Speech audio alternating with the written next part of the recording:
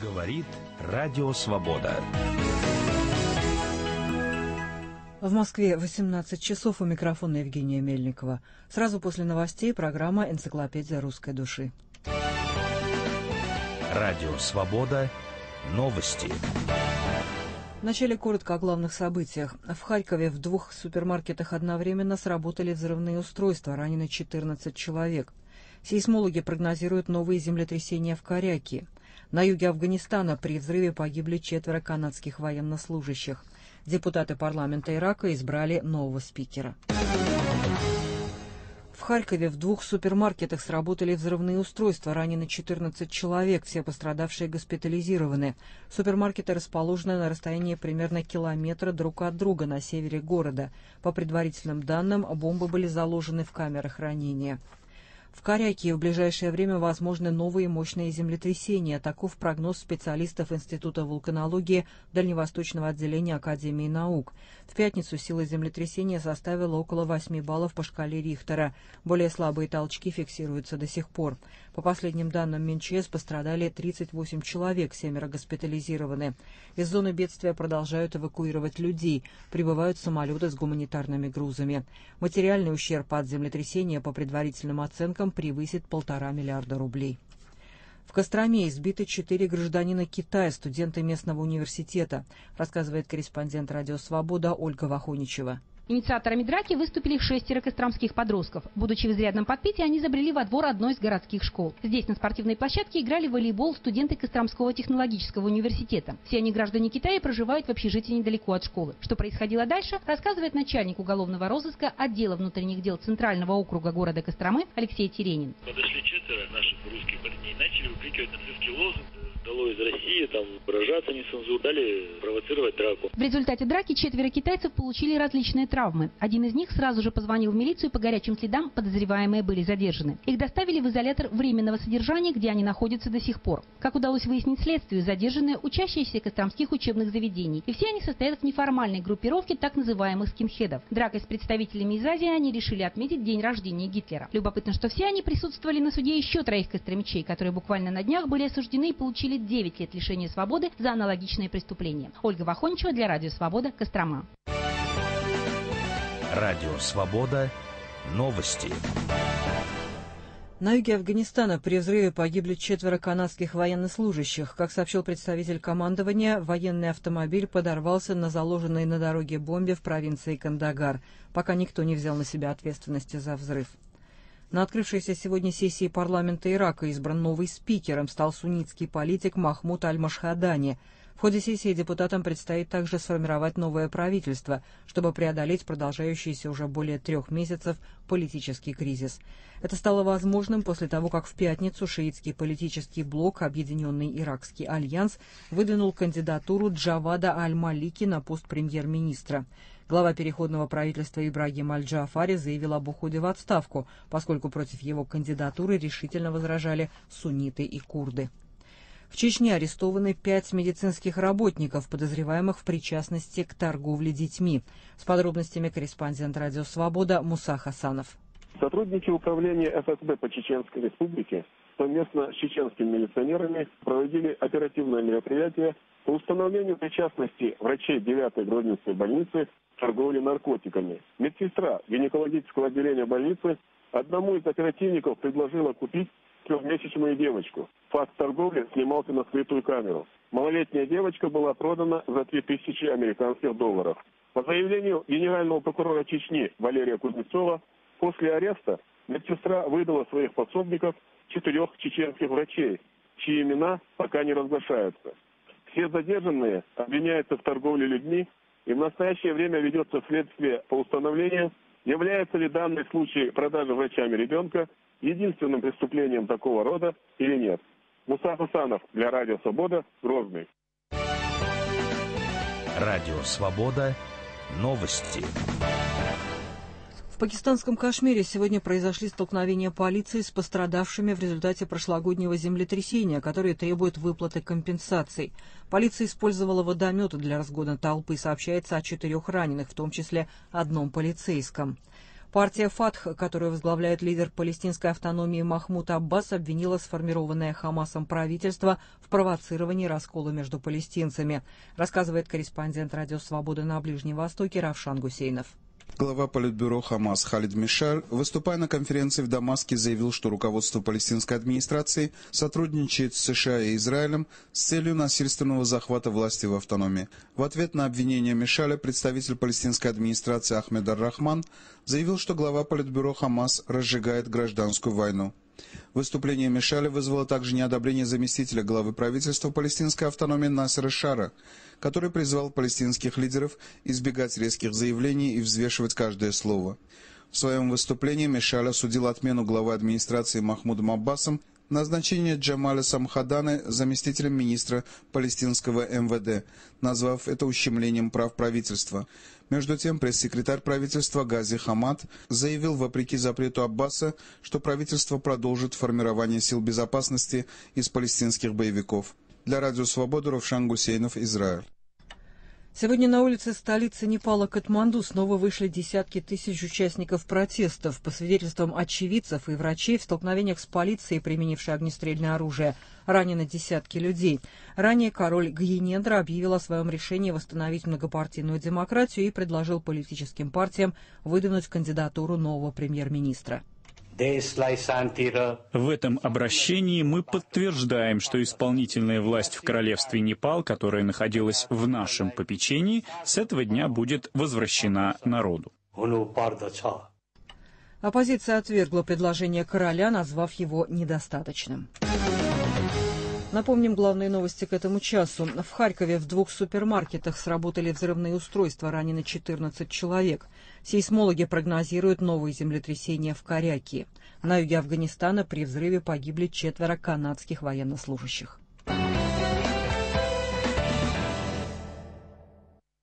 Говорит Радио Свобода.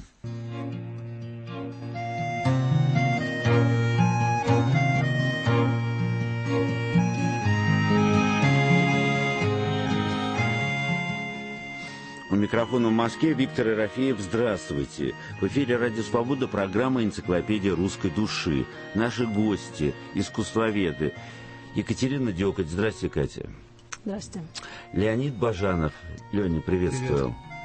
Привет. И мой брат, искусствовед Андрей Ерофеев. Привет. Здравствуйте. К нам также подойдет еще и художник Олег Кулик, если он окончательно не застрял в пробке. Тема нашей передачи «Надо ли запрещать социалистический реализм сегодня?» Дорогие наши слушатели, мы ждем ваших звонков. Это прямой телефон нашего прямого эфира 8 800 222 12. Вы знаете, что он, это бесплатный звонок. А также мы ждем ваших сообщений на наш пейджер в Москве 9614 тройки, в Екатеринбурге 35887 20 и в Санкт-Петербурге 053 абонент Радио Свобода. И, пожалуйста, вы это знаете, подписывайтесь и сообщайте, из какого города вы с нами ведете разговор. Я только что приехал сегодня из Нью-Йорка и хочу специально передать слушателям нашей программы в Нью-Йорке мой пламенный привет. Я встречался с моими читателями, оказалось, что нашу передачу слушают в Америке и очень ею заинтересовались. Так что, дорогие американские наши слушатели, всем вам большой от меня привет. Почему мы сегодня... Да, а, и вот от наших да, гостей. Да. Почему мы сегодня вот в эти пасхальные дни, кстати говоря, всех с праздником, почему мы занимаемся этой темой? Надо ли запрещать социалистический реализм?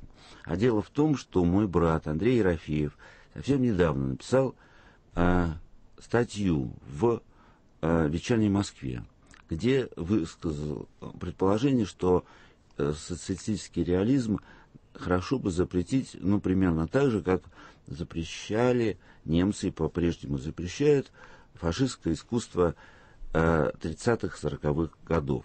Тема такая спорная, я знаю, что будут разные мнения, хотя наша передача не конфликтная, но тем не менее мне показалось, что эту тему можно обсудить. Поэтому, наверное, сначала давайте предложим Андрею высказать свое мнение по этому поводу, а потом уже устроим дискуссию. Пожалуйста, Андрей. Ну, а, действительно, это было интервью, не статья, где э, меня спрашивали про те новшества, которые будут введены в постоянную экспозицию Третьяковской галереи, где да, я надо, работаю. Да, надо да. сказать, что Андрей работает в Третьяковской вот галерее. сейчас, к 150-летию Третьяковской галереи, готовится новая постоянная экспозиция, и в течение года у нас в коллективе шли дебаты в отношении того, каким образом трактовать по-новому уже в постсоветское время историю русско-советского искусства XX века. И вот оказалось, что в отличие от авангарда 10-20-х годов и от нового авангарда, который возник на заре оттепели уже в 55-56 и длится до сих пор, так условно говоря, вот это новое современное российское искусство, Оба эти явления очень внятные, очень саморефлексирующие, описывающие себя, свою историю, свою традицию, и в этом смысле представляющие довольно э, удобный материал для интерпретации и экспонирования, и коллекционирования. Так вот, в отличие от, от первого авангарда и второго, существует э, явление в советско-русском искусстве под названием социалистический реализм, который не поддается пока что э, такому вот внятному осмыслению и структурированию.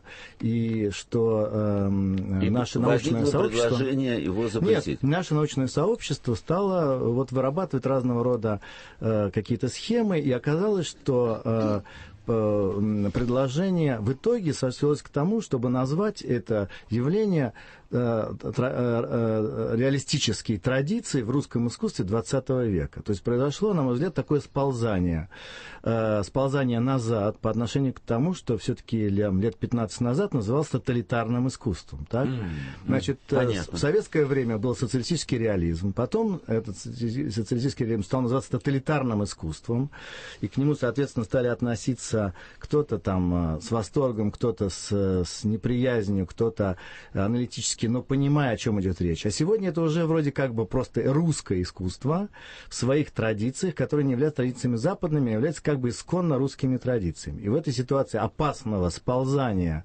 в, э, в, такой, в такой идеологический э, дискурс э, отделения от общей, от общей цивилизации, от общемирового развития искусства и культуры, мне показалось уместным предложить коллективу на 10 лет не, не больше, на 10 лет, вы, вывести вообще этот материал из экспонирования, пока мы как бы продумаем его, по-новому на него посмотрим, и сосредоточиться на тех прогрессистских традициях 20 века в русском искусстве, которые, собственно говоря, являются славой нашей, нашего искусства не только у нас здесь, но и прежде всего даже, я бы сказал, за границей. Да, позиция понятна. Но у нас из Петербурга нам Никита звонит.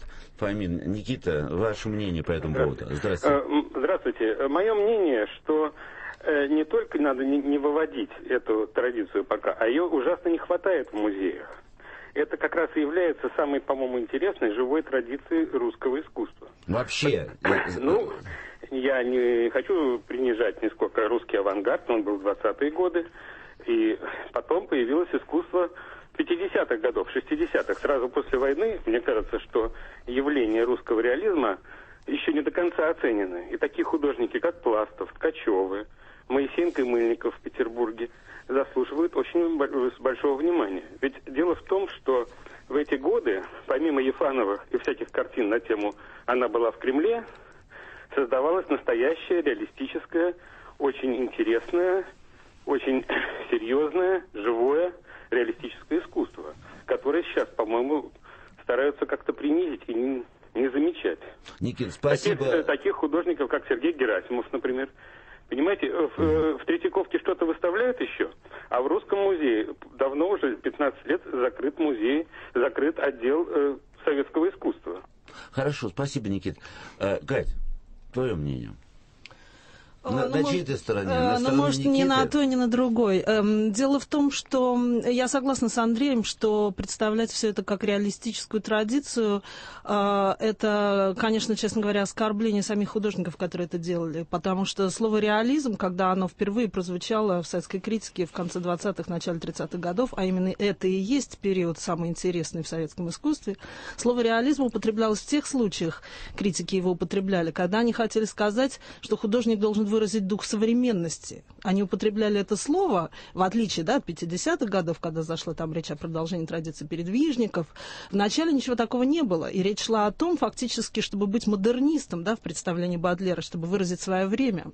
Что касается того, чтобы запрещать искусство социализма, это очень опасная тенденция, потому что это этот запрет и тот факт, что действительно в большинстве музеев нашей страны вот уже 15 лет экспозиция советского искусства закрыта, означает не что иное, как вытеснение в психоаналитическом э, смысле. Э, мы вообще-то не осмысляем свое советское прошлое.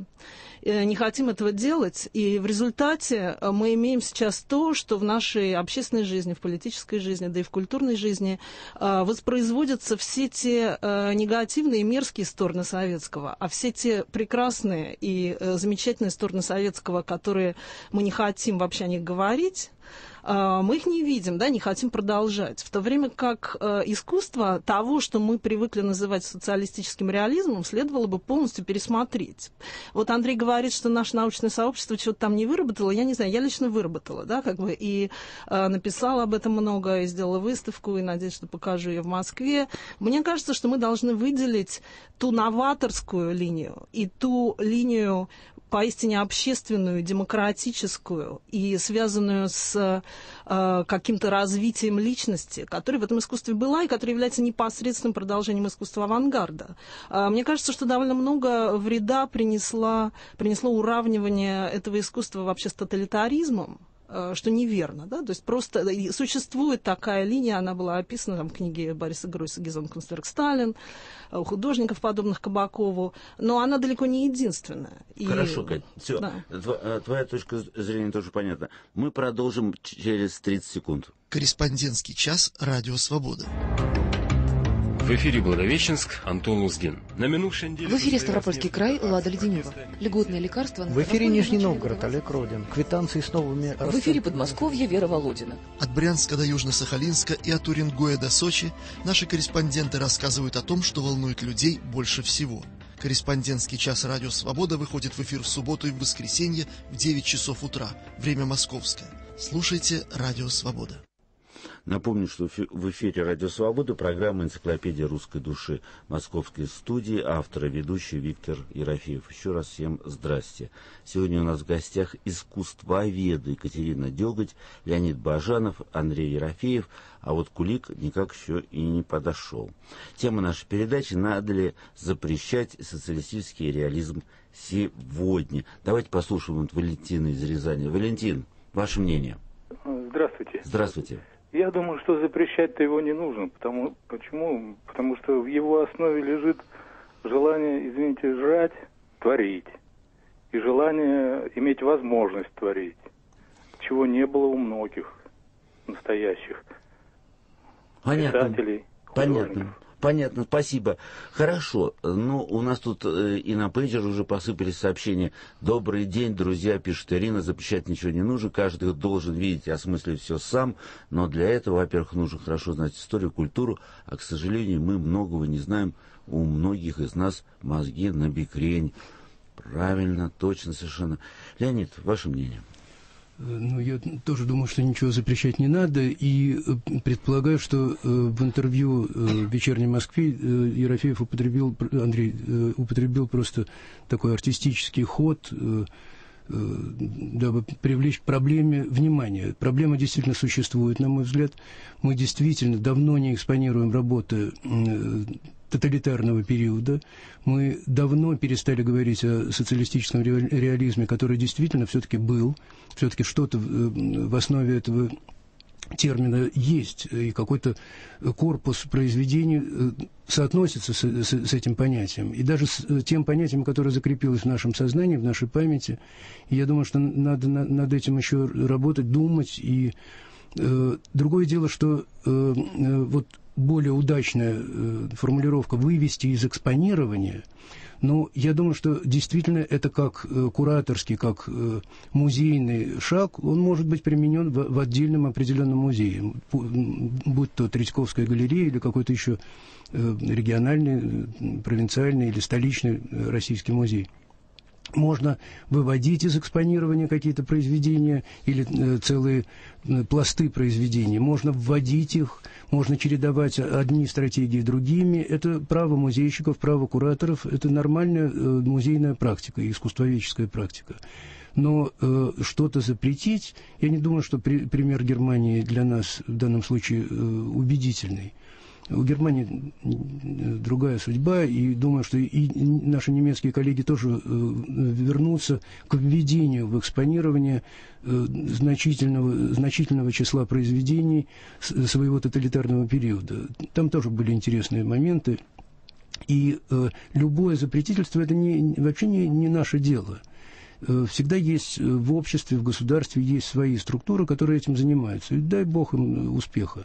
Не надо, не надо, да. не надо э, желать им успеха. Ну да, ну бог с ними. Э, э, но наше дело, наоборот, вводить в обиход рассмотрения, в сферу рассмотрения, в том числе искусствоведческого рассмотрения, культурного и анализа, рассмотрения да? анализа, как можно более широкий круг объектов и явлений и произведений в том числе и тех произведений, которые не ну, может быть, раздражают общество, может быть, считаются неприличными, может быть, считаются... Вообще современное искусство и его э, профессионалы давно этим заняты. И когда мы вводим Э, что-то, э, то, что э, публика и традиционно настроенная публика считает оскорбляющим или задевающим их эстетический вкус, эстетические представления, нам кажется это нормально. Когда же мы вдруг начинаем требовать, что что-то надо запретить и вывести, ну, я не думаю, что это успешная практика. Хотя, я повторяю, что она может быть применена на какой-то период в каком-то конкретном музейном строительстве, вот, конкретном музее, в какой-то музейной структуре. Лень, я думаю, что еще мы послушаем. Что-то у нас сегодня так все э, взволновались по этому э, вопросу. Сергей из Петербурга звонит. Добрый день, господа. Да, здравствуйте. Вы знаете, вот соцреализм, это, по-моему, то же самое, что КГБ, передовой отряд этой нашей, вернее, боевой отряд нашей партии. Во-первых, это не искусство и не отражение реальной действительности. Я что-то не помню монументальной статуи заключенного там где-нибудь в ГУЛАГе или это самое тоже в, в жанре соцреализма этого картины э, закрытый распределитель там для этих членов КПСС. Вот. И, понимаете, я думаю, все-таки это надо как-то приравнять гитлеровскому искусству, потому что это так же красиво, как и гитлеровское, но люди должны понимать, что это одно и то же. Может Ясно. быть, как-то образумит. Ясно, Сергей, понятная позиция. Кать, вот это что... не одно и то же. И сравнивать э, коммунистический режим с фашистским Э, крайне глупо, недальновидно и э, приводит к совершенно катастрофическим историческим последствиям, как мы видим, что сейчас происходит э, с политической действительностью после разрушения Берлинской стены. А, это одна из самых больших ошибок, которые, в принципе, можно осуществить. Что касается советского искусства, то искусство вовсе не обязано отражать действительность. Да, как я уже сказал, слово реализм вовсе не значит, что они ставили такую задачу. Гать, хорошо, значит, что у нас не было тоталитаризма? Значит, Сергей... Все гораздо сложнее. С ГУЛАГа понять, не было? понять, э, ГУЛАГ был, угу. но э, когда мы говорим об искусстве конца 20-х, начала 30-х годов, угу. там есть изображение ГУЛАГа у Родченко, в, том, в его фотографиях Беломор-канала, в том, и они, это совсем непростые фотографии, и за ними стоят очень сложные размышления человека того времени. И скульптура Мухиной «Рабочая колхозница», невозможно ее сравнивать с произведениями, изображающими Гитлера, с какими-то образами. Э, принято сравнивать эти два э, павильона, да, которые стояли на Парижской выставке 1937 года. Советский и нацистский. На нацистском был изображен орел, символ власти, а на советском стояли рабочие колхозницы, символ освобождения. Понятно. Андрей, ну вот Катя упомянула про Родченко. Родченко в своих дневниках в 40-е годы писал мы стали никому не нужны, нас раздавила эта империя ложного реализма. Роченко был как раз один из тех, кто пострадал, и кто пострадал не, не один, десятки, э, сотни художников э, были просто лишены возможности что-либо сотворить здесь, делать. Понимаете, вот Мельников, гениальный архитектор 20 века, 50 лет ничего не мог сделать, не построить, не даже сделать свою выставку в СССР. То есть я-то считаю, что проблема заключается не только в том, что это хороший стиль или плохой. Проблема заключается в том, что этот тип искусства, он э, является просто не творчеством, это и есть форма государственного служения. Вот это смотрите, государственная служба. Давайте, мы, мы вот еще что... Сейчас, да, да, разреши, да, да, да, То есть, если, скажем, на государственной службе тебе приказывают написать Сталина, ты пишешь Сталина. Если тебе приказывают написать патриарха, как сейчас, ты пишешь патриарха. Я хочу сказать тем самым, что соцреализм это вовсе не только 20-е, 30-е, 60 50-е, 60-е годы, это и сегодняшняя часть, э, большая часть так называемых художников, начальников или начальников членов Союза художника и Академии художеств, которые продолжают то же самое государственное служение. Только теперь, правда, это стало, власть э, как бы э, размножилась, стала разнообразна, так? но тем не менее они все равно конъюнктурно заискивают и все равно пишут то, что прикажут. И надо сказать, что такое искусство искусство э, было и в XIX веке, и до этого, и и, и достаточно давно живое искусство эти меха оставило, из этой формы вышло. И больше фактически талантливых, э, перспективных, интересных форм искусства в, этой, в этом типе э, работы художника не наблюдается. Ну вот посмотри, у тебя появляется союзница, которая явно тебе не нужна. Смотри, что пишет православный журналист Наталья социализм, э, соцреализм в плане масонских звезд и чучела Ленина, разрушителя православия на Руси, запретить надо. И идеализм с голым задом и уродством кулика с маленькой буквы под названием демократический реализм также необходимо пресечь, запретить и наказывать за подобное. Вот так вот можно от, от, от, от запрета. Леонид, э, вот все-таки насчет тоталитаризма, по-моему, ты как-то придерживаешься, я не сказал бы средней линии, но, но тем не Нет, менее, я, я не придерживаюсь средней линии, я э, категорически против тоталитаризма и э, понятно, что я не защищаю ГУЛАГ но э, произведения социалистического реализма мне представляются интерес, интересными памятниками культуры. Культуры ужасной, деформированной, э, но не, действительно интересной. Э, кроме того, но ну, в России... Дзержинского интересно Памятник Дзержинскому интересный, но я уже э, сколько... Я член Совета по монументальному искусству при городской думе, и регулярно голосую по, против его восстановления на Лубянской площади. А регулярно, значит, регулярно предлагается? Регулярно предлагается, да. Предлагается, но надо сказать, что члены этой комиссии регулярно это предложение э, отстран... Э, отвергают. А, а вот еще что он э, пишет. Богатеньким буржуям хочется запретить соцреализм. Такие братки, как Ерофеевы, всячески стараются в этом плане. Но даже ваш попугай Виктор понимает, что это бесполезное занятие. Вот такие вот знатоки жизни.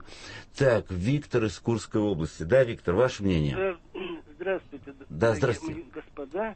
Да. Я вот что хочу сказать в связи с вашим выступлением. Значит, как таковой сам социалистический реализм, он уже, мне кажется, окончил свое существование. Потому что кончился период социализма, и сам такой реализм, он отпал. А, а, а сам реализм, как таковой, он, конечно, остался. Потому что, возьмите вот художников, например, вот Рогаль был художник, я знаю, на выставке его видал в Красноярске, это Иркутский, там места зарисовки Байкала, там тайги. Был, значит, Мешков, красноярский художник, связанный с работой с севером, с заражением, там, северное сияние, еще чего-то, Норильска. Но это социализм, вот видите, как вклинивался в это искусство. Мы должны что-то были показать. Массовые выступления рабочих, стройки. Вот посмотришь, вот в манеже раньше демонстрировали эти выставки, были к такой годовщине. Там машины едут, это грязь месяц, рабочие сидят на куче этого песка. Или вот возьмем, скажем, Никонов изобразил трех геологов, как будто как все равно эти общипанные курицы сидят где-то там, это то ли в пустыне, то ли не пойму на чем. Понятно, Виктор. Ну, то есть э, выясняется, что этот соцреализм был для, э, для Виктора из Курской области недостаточно социалистический. Даже они сидели, сидели там ощипанные, и нужно было что-то сделать. Или там у, у Попкова вот эти братская ГЕС, там они тоже какие-то мрачноватые сидели. На самом деле, значит, нужно было еще более героические, наверное, золотые те самые статуи, которые были э, на ВДНХ. Нам надо уже выходить на на, на новости, скажу, что в 21.07 и сегодня, в воскресенье, 2 часа ночи, вы услышите повтор программы «Дороги свободы». И тема вы, выпуска «Насилие во взрослой жизни» как отсудить у государства денежную компенсацию за причиненный сотрудниками милициями моральный ущерб. Вот это узнаете после нашей программы. В Москве 18.30. Коротко о главных событиях. Радио «Свобода». Новости. В Харькове в двух супермаркетах одновременно сработали взрывные устройства. Ранены 14 человек, четверо находятся в реанимации. По предварительным данным, бомбы были заложены в камерах хранения. В Коряке в ближайшее время возможны новые мощные землетрясения, таков прогноз специалистов. В результате землетрясения в пятницу, по последним данным, пострадали 38 человек, семеро госпитализированы. В столице Бурятии Улан-Удэ прошла акция в защиту Байкала. В митинге протеста против строительства нефтепровода «Восточная Сибирь. Тихий океан» в непосредственной близости от озера участвовали около 500 человек, сообщил корреспондент «Радио Свобода». В Костроме избиты четыре гражданина Китая, студенты местного университета. Нападавшие задержаны, против них заведено уголовное дело по статье «Возбуждение национальной вражды». На открывшейся сегодня сессии парламента Ирака избран новый спикер. Им стал суннитский политик Махмуд Аль-Машхадани. В ходе сессии депутатам предстоит также сформировать новое правительство. На юге Афганистана при взрыве погибли четверо канадских военнослужащих. Как сообщил представитель командования, военный автомобиль подорвался на заложенной на дороге бомбе в провинции Кандагар. В пакистанском Кашмире произошли столкновения полиции с пострадавшими в результате прошлогоднего землетрясения, которые требуют выплаты компенсаций. Полиция использовала водометы для разгона толпы. Сообщается о четырех раненых. На улице э, столицы Непала Катманду снова вышли десятки тысяч участников протестов, несмотря на решение короля Гьенендры восстановить многопартийную демократию. В столкновениях с полицией, применившей огнестрельное оружие, ранены десятки людей.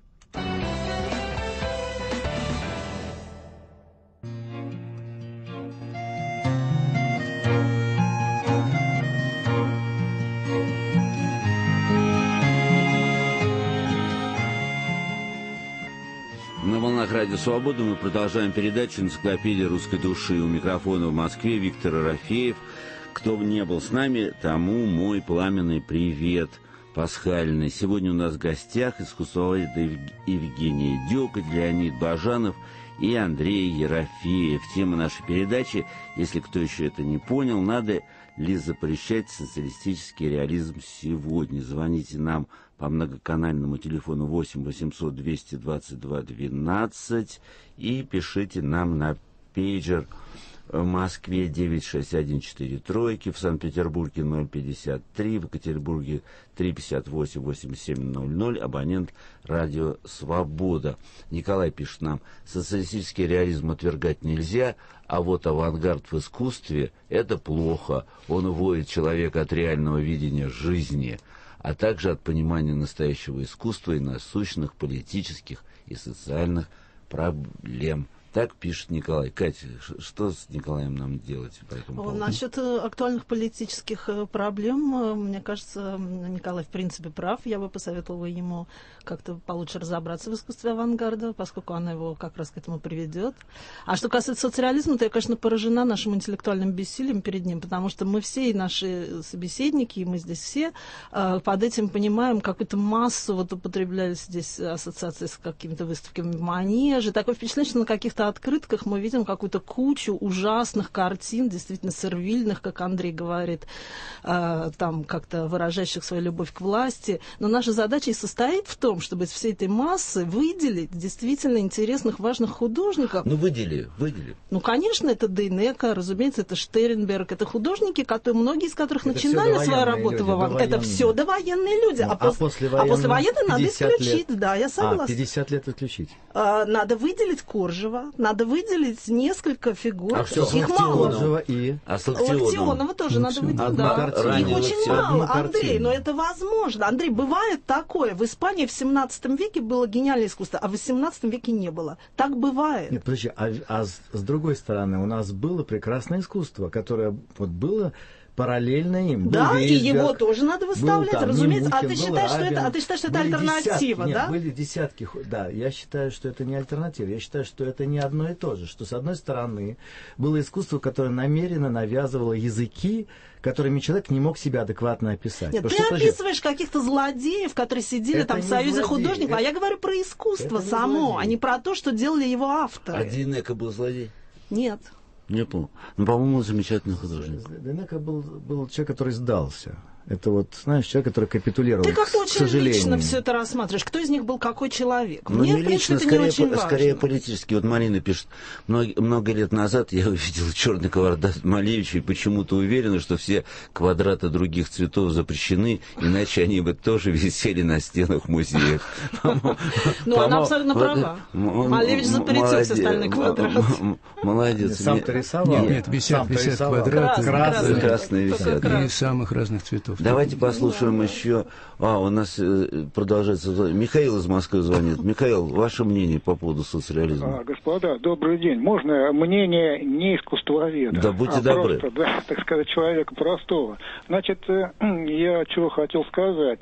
Э, В советское время ведь творилось не только то, что можно было бы назвать советским искусством, ну, по крайней мере, не все то, что туда в него влезало. Вот, например, ну, возьмите там Вадима Сидура, отнесите его куда хотите, да? Замечательный Сидор, Ну да, замечательный. замечательный Сидур, между прочим. А потом, э, с другой стороны, если взять уже такие совершенно дуболомные вот э, вещи, я бы их сохранил, честно говоря, просто как тоже своего рода совершенные предметы, ну, характеризующие время.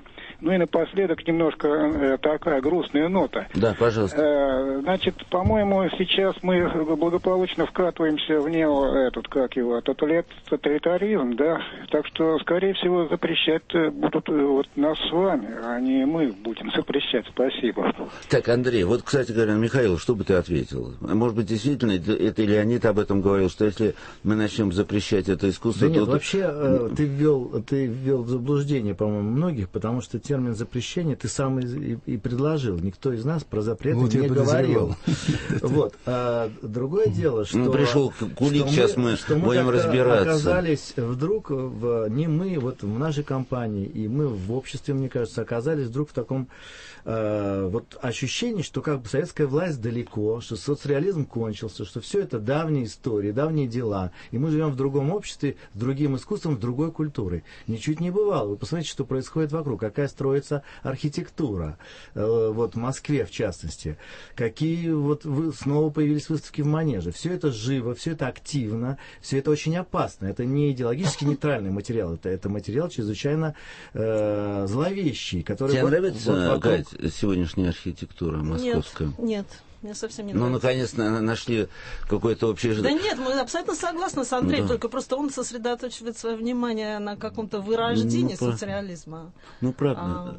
С- а, а, а, значит, у нас в студии Олег Кулик, мы тебя приветствуем. Позволь зачитать, что о тебе думает Светлана. Интересно, какое образование у Кулика?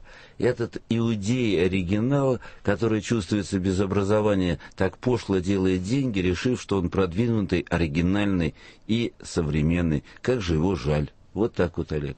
Хорошо, что жалеет. Жалеет. Они Всё-таки не требуют обругала повесить. сначала, а по- вот, Нет, вот, почему? Она меня не обругала, сильно образования нету. Я единственное, это не иудей, но, в принципе, и очень люблю иудеев в этом смысле, культурном. А вот мне нравятся русские женщины. Ну, сначала обругала, ну как бы, обру- она пожалела. думала, что... А потом в конце пожалела. снится сатана. Знаете, был- я сегодня был в деревне одной, в Эквадоре, и там есть сатанинский день, когда девушки садятся на заборы, а заборы такие мягкие, провисают, а под ними ползают юноши и как бы их ласкают пальцами, как бы сатанинские пальцы. День сатанинского пальца. Я подумал, что, как бы, вот, наверное, каждая женщина мечтает, как бы, один день побыть во власти сатаны. Кулика.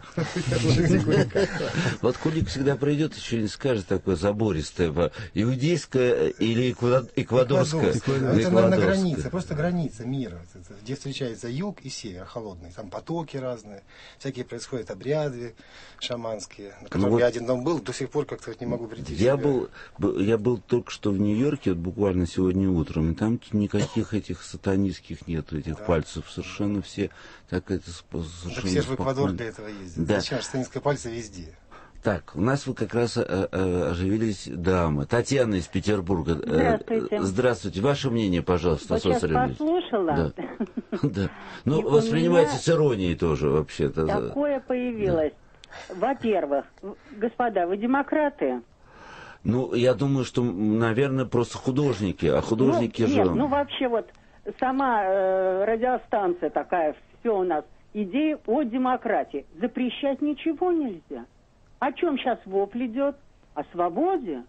Так, это одно. А это, вы-то, а это вы-то, мне э, сейчас, пока я вас послушала. Вас Татьяна, а вы-то сами кто? Расскажите. А? А, вы-то вы сами кто? Демократка. Ну, слава богу. Так, Хорошо. Теперь что хочу сказать. Вот насчет живописи. Вы, господа, профессионалы, искусствоведы тут. Я человек, интересовавшийся в свое время, ну, сейчас уже на старости не так, искусством. Ну, я просто не близка сейчас. Возможностей нет. Но э, живопись, раз и речь сейчас идет о живописи, имеет два аспекта. Если в литературе э, социалистический да. реализм это было несение вот словом идеи, то живопись имеет реализм два значения.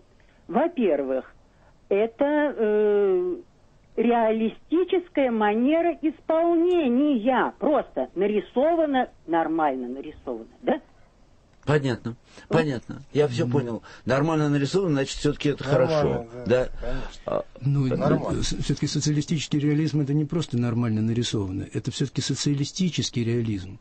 Уж если мы о нем говорим, это, конечно, искусство, которое нагружено идеологией определенной. Иногда нагружена, привнесена идеология извне, иногда она переработана и освоена самим художником. Идеология всегда привносится. Любой, любой взгляд идеологический. Ну да, нет, ну иногда она при, привносится, иногда это исполнение идеологического заказа, а иногда это воплощение своих Зачем? потребностей, вожделений и так далее. Кто-то в это верил. Лень, кстати, я хочу тебе напомнить, что лет 10 назад, лет 10 назад, да, когда ты еще работал в Министерстве культуры, возглавлял отдел э, э, по современному искусству там, ты э, выдвинул такое предложение. Я хорошо это помню. Ты предложил очистить тогда, или облегчить, по крайней мере, хранилища российских музеев от огромного количества э, вот этих вот левомосковских и... или там московских, mm. или каких-то там лосковских, или прочих вот связанных с Академией Союзом художников э, произведений, которыми все просто, все хранилища забиты, правильно? От Москвы да, до Иркутска. Но дело в том, что э, очистить это не значит их выбросить. Их ну, надо из это... художественных музеев перенести в музеи э, этнографические, исторические и так далее. Ну, э, в, в Тейт-галерее висят работы одного рода, а в, э, в галерее, портретной галерее в Лондоне висят... Значит, ты предлагал соцреализм перевести, вот именно соцреализм, не все советское искусство, потому что действительно говорилось о том, что советское искусство было разное. Ну, кстати говоря, ну, во всяком случае, перевести в исторический музей. Во всяком случае, хорошая идея, кстати говоря. Просто рассматривать как некие Конечно, это культурные объекты. А у меня есть другая идея совершенно конкретная. Имеющая ценность.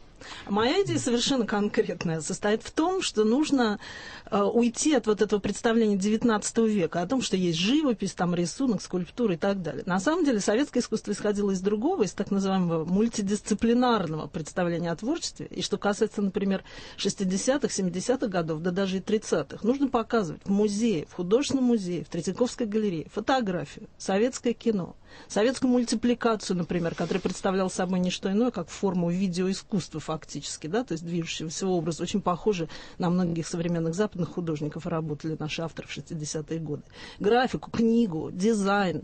Но здесь нужно проделать огромную работу, взглянуть на все это свежим взглядом. И новые коллекции составить. А вот, конечно, да, да, да. А, вот художник э, в, 20, в конце 20-х, начале 30-х годов, он был жертвой власти, или он сам хотел, веря в коммунизм? Вот, Олег, как ты считаешь? Вот если бы ты жил на грани 20-30-х годов, ты же, у тебя есть воображение хорошее, ты представь, ты бы стал соцреалистом или бы отбивался от, э, от него? Я не жил 20-30-е. А ты представь. Да, я представил. Я думаю, что я как бы вот э, пошел в каком-нибудь потоке. Как бы пошло, так и пошло. А там было два потока, знаешь, а я, а я, а я бы не был, сопротивлялся. И был Фадеев, же, был Пастернак. Ну, нет, неправда, Андрей, ну что ты так, говоришь? конечно, ну да. что это за примитивная Андрей, картина конечно, мира? очень многие жили Не в 20-30-е ругайтесь. годы очень индивидуально. Да, как раз э, спектр там появился такой образ, как бы вот э, затворника, становой кости, там, это, который живет в башне. Очень много было таких художников и потрясающих поэтов, которые, может быть, не были идеологизированы, вышли, сошли на нет и остались в эпохе, скорее, дореволюционной. Но я бы тоже, как бы, вот, наверное, существовал бы вполне э, одиноко. Достаточно. Но я не думаю, что... Как я- Филонов. Э, Ну, как Филонов, кстати, сегодня утром я про него думал почему-то. Ну, я думаю, что лучше бы. А как это Филонов существовал одиноко, когда его окружало огромное количество учеников, Ну Да, и, и он, он и, и мечтал- умер с голоду, э, наверное, так и не съев ни одного ученика. Я не знаю, когда он... Последние пять лет он жил один. У нас э, тут разгорелся спор и между слушателями. Раиса пишет, православная Наталья, которая вам постоянно звонит, так ненавидит Ленина и все советское, что кричит запретить, запретить. Почему православные такие жестокие, если они верят в Христа? Христос это любовь. Я тоже православный, но к Ленину отношусь очень хорошо. Э, Вот Давайте сделаем какие- инсталляцию. какие интересные Классифицируем Ленина и сделаем из него распятие в храме. Вот так вот э, распятый Ленин. Классифицированный. Да чего его распинать? Он и так, по-моему, хороший, Нет, уже он годится. соединит эти христианские гуманистические лозунги с социалистическими идеями равноправия. Просто потрясающий символ. И он перестанет быть мертвым. Станет как бы живым. Мы что, э, Ленин А он сейчас не так- живее а всех. он так- так Не, ну а живее. почему тогда лежит как мертвый? Пусть тогда висит как живой. Это тебе кажется, Это что тело, мертвый. это тело. это, э, Пусть висит, висит, разговаривает, кстати. Пусть он говорит. Мы же можем сейчас компьютерно позволить себе. Пусть он отвечает на все вопросы, он все знает. Это интересный ход. Так, давайте послушаем Наталью Михайловну из Москвы. Здравствуйте. Здравствуйте. Собственно, о чем идет речь? О живописи, э, О живописи, за 70 лет 17 года. Мне кажется, как не, я не профессионал, реализм есть реализм. При социализме ли, при капитализме ли. Но есть тематика. Или это или отражение жизни, или восхваление режима, или восхваление диктатора. Неважно, Восхваление жизни, Марья Ивановна. по заказу, подождите, Наталья или доброй воли. И еще есть талант или его нет. Вспомним рисунки о Брежневе, это же ужасно. Надо с малолетства учить детей воспринимать искусство, воспринимать прекрасное. И люди сами разберутся тогда. Вот мое мнение. Понятно, Наталья Михайловна. Хорошо, а как же тогда нам быть? Запрещать э, реализм, да? Вот Кулига считает, что... надо. Конечно. Но, Потому что э, как только мы его запретим, родится новый реализм. Каждое время требует свой реализм. Социалистический, запрет капиталистический, это конечно. выгоден для Не, ну, развития. как понимать этот запрет? Знаете, я же например, запрещаю себе плеваться. Знаешь, что я себе запрещаю плеваться? Я могу где-нибудь плюнуться. Но, в принципе, лучше запретить, потому что иначе с тобой не будут разговаривать, я не буду слушать более умные речи. Поэтому мы запрещаем соцреализм, чтобы появился новый реализм. Капиталистический сейчас нужен реализм. И он есть, Дубасарский виноград. Это тот же соцреализм, только капиталистический. Мы его не запрещаем, но надо уже пора запрещать. Вот Ерофеев готов его запретить. Я его поддерживаю, чтобы они стали делать новый реализм, космический реализм, там, пацифический реализм, Ерофеевский реализм, Бажановский реализм. Чем больше реализмов, тем больше можно нам А э, получить а свободу. Реализм? А с Катей мы уйдем в лес и будем танцевать вальс в осеннем лесу. Абстракционизму, отвязанности от жизни, чистому сознанию. Но это для немногих. Зачем э, мучать многих? Дайте им реализм. Пусть они едят сколько хотят этой демократии, свободы и реализма. Так, а вот Иван Иванович поч- почему-то обрушился на Бажанова. Уважаемый, э, уважаемый Вот товарищ хорошо. Бажанов, вы самый главный Бажанов. защитник старого идеологического направления в искусстве. Вот И это вы да, до сих пор остаетесь человеком, который морочит людям голову в искусстве.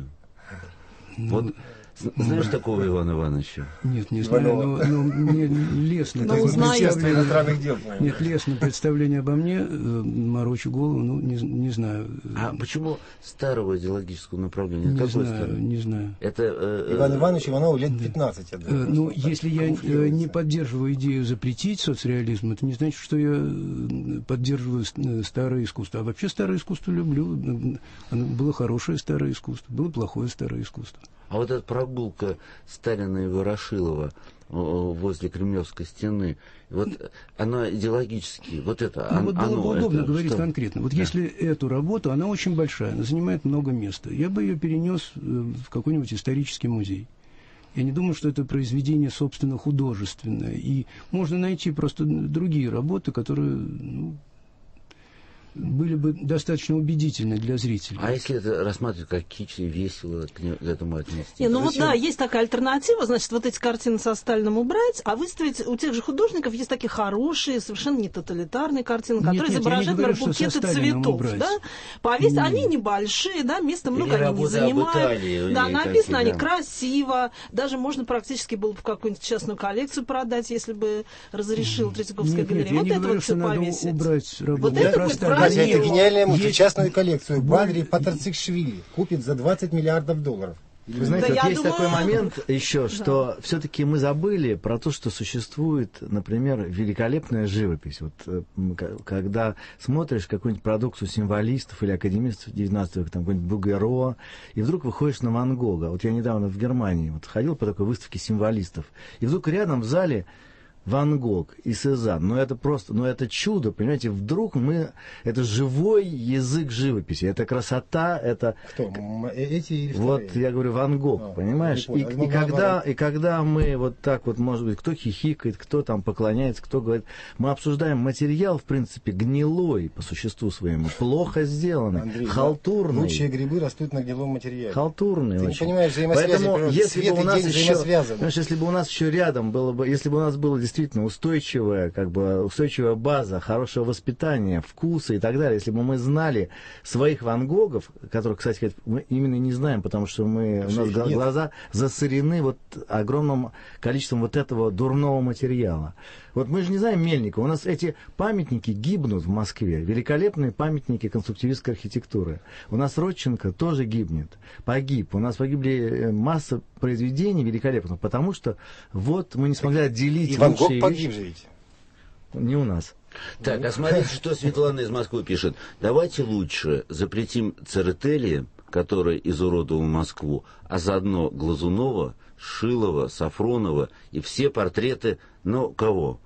Путина. А соцреализм более безобиден, чем то, что сейчас происходит. Светлана, Москва. Ну, я думаю, недолго ждать осталось, то, что Церетели запретят. Неправда, Это- неправда. Житель жил, жил и будет жить. Ну, вот такие есть мнения. Так, Александр из Москвы, будьте добры. Ваше мнение. Э, Здравствуйте, дамы и господа. Здравствуйте. Ну, во-первых, конечно, вопрос риторический, можно ли бороться с тоталитарным искусством тоталитарными методами. Конечно, нет. И более того, в любом искусстве человек, талантливый человек, он может работать в любой форме и всегда будет талантлив. И в социалистическом реализме, как и в любом другом, и в голливудском реализме, и, и в русской, кстати, традиции иконописи мало реализма, как в Мухинской, э, как в Мухинской работе, в скульптуре, так сказать, рабочая работница, мало реализма, но что-то есть здесь есть вот в этом нашем искусстве, Больше как раз- реализма. Да, оно вот этот вот мостик перекладывает оттуда, оттуда. Ведь э, хорошо вы сказали про, Стали, про Сталиняну или Ляниану. Да, делали из них, делали икону, делали святых из них. Знаете, вот Да, новых пра- святых. правильно, И вы правы, это да. традиции, вот русские традиции. Вот смотрите, как легко хохлома превратилась в соци- советскую, социалистическую Да, хохлому. да, да. Никакого реализма. Да и вообще говоря, в искусстве его не должно быть никак. И я не, не вижу большого, большой разницы между вот этим самым соцреализмом, я не говорю о придворных художниках маленького, так сказать, таланта, а и между конструктивизмом э, начала века. Вы понимаете, здесь идет поиск вот этой самой а, души, русской души и отзыва. Ведь у нас Ван Гога не потому нет в России, потому что нет талантливых таких людей. У нас не отзывается вот на э, русская душа, на эти картины, потому что там другие принципы. Даже вот приближающийся праздник, он совершенно различный в западной э, традиции и в православной традиции. Возьмите Понятно. Александр, православную же- икону и католическую икону. Там Давайте плоть, делать там духовный жизнь. реализм. Да, я, я уже понял. Нет, э, Але- Александр тоже внес свою ну, как бы э, струю в размышления общие.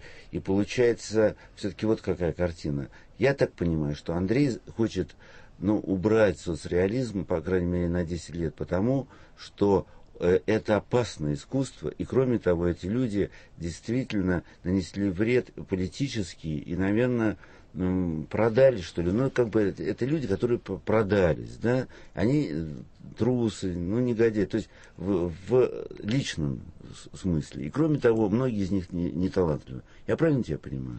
Да я думаю, что они учат нас и учили наших родителей говорить на том языке, на котором адекватно невозможно описать 20 век. И поэтому мы жили в обществе не 20 века, а в обществе 19 века. И поэтому мы пропустили 20 век. Это, вот это один из, один из следствий и системы, и искусства этого, который был важным элементом этой системы. Но здесь можно возвращать, э, потому что можно сказать, что вот русская как раз душа, она вообще пропускает все века, она вечна, и ей плевать, что и 20 век, что 19 Душе плевать, отхожу, ты говоришь. Да, душе плевать.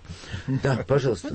А, я вот хотела бы под конец согласиться с Андреем. Э, вот слушая э, наших собеседников и в студии, и извне звонящих, я поняла, что что проблемы социалистического реализма абсолютно никого не интересуют. Да? Вот, например, сидел бы тут какой-нибудь художник 20-х, 30-х годов, он бы вообще нас не понял, да, мы бы не поняли его, потому что он бы говорил о критике капитализма, о построении нового общества, нового человека, о будущем, о каком-то развитии истории. Я здесь слышу в основном только про Пасху, православие, и это есть то, что интересует современного человека. Поэтому я вот решил поддержать идею на 10 лет соцреализм убрать, потому что когда картины со Сталином были запрещены, да, в 70-е годы, они ведь были запрещены, из этого родился замечательный соцарт и концептуализм. Родились художники Кабаков, Булатов, которые стали работать с этим материалом, который никому не был нужен.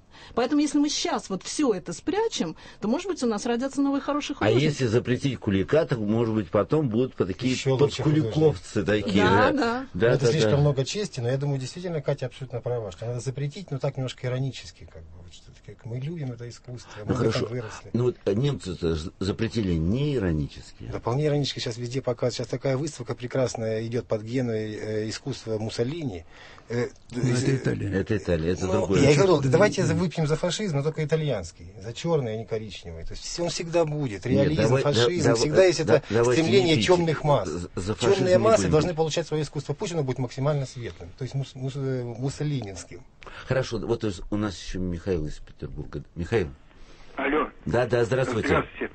Ну, я хотел бы остановиться на, на двух или на трех моментах. Первое, что коммунизм и нацизм, это, так сказать, у вас э, там дама сказала, что это глупо сравнивать. Надо сравнивать не то, что была Конституция в России лучшая в мире, а практика. А практика нацизма и коммунизма была одна и та же. Только немцы афишировали это все, а, а коммунисты говорили одно, а делали другое. Это совсем что же касается искусства, то, скажем, стадо коров у Добиньи где-нибудь на заливном лугу, чем она может отличаться там от стада коров в советское время? Только то, что э, нарисованные коровы не соответствуют тем коровам, которые были в колхозе с впалыми боками и не дающие даже двух тысяч литров молока.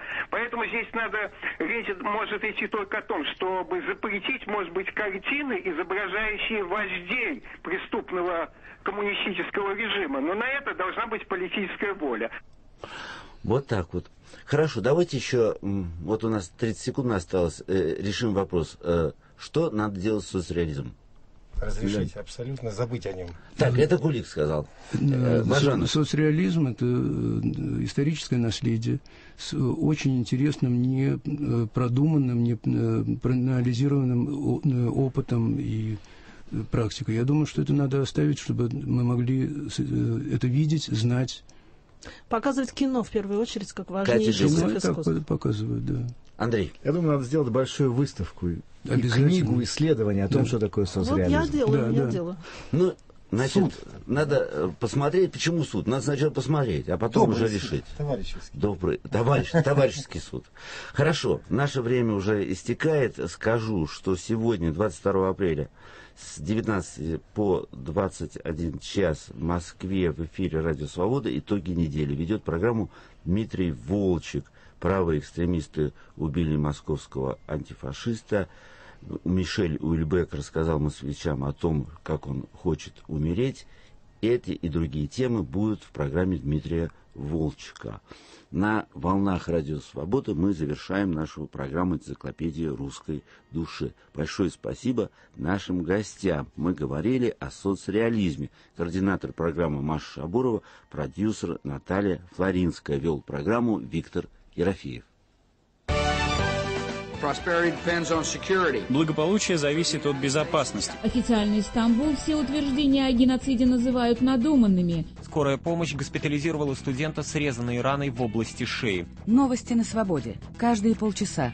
Быстро и точно. Это такая топорная попытка шантажировать Россию. Был установлен тесть эмиссара Аль-Каиды Абудзейта. Свободный информационный мир. Радио «Свобода». Новости. Говорит Радио «Свобода». Слушайте нас на всей территории России. В Петербурге на УКВ 71 и 24. В следующем часе нас можно слушать также и на коротких волнах. 6105, 7220, 9520 и 11805. Слушайте радио